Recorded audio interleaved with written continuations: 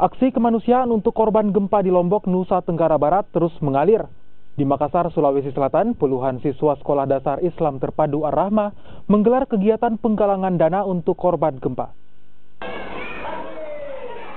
Penggalangan dana dilakukan oleh siswa sekolah dasar Islam terpadu Ar-Rahmah di Jalan Perintis Kemerdekaan Makassar.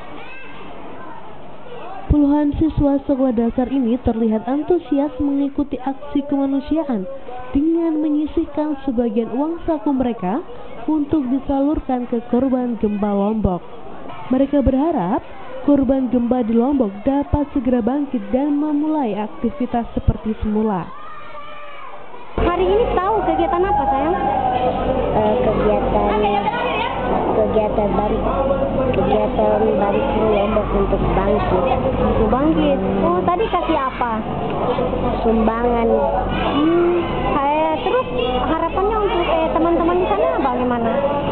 Saya bisa saya bisa bangkit, bisa bisa bisa Bisa sekolah lagi? Ya bisa sekolah lagi.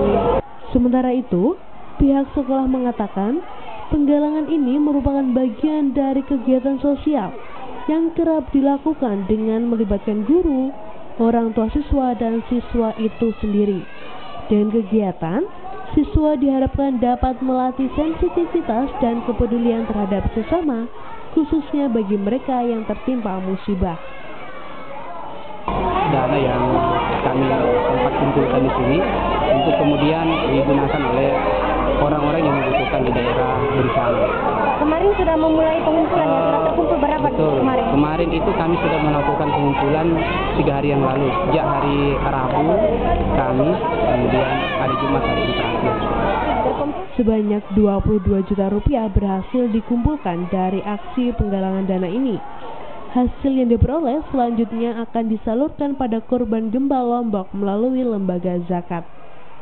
Arif Tirtana, Kompas TV, Makassar, Sulawesi Selatan.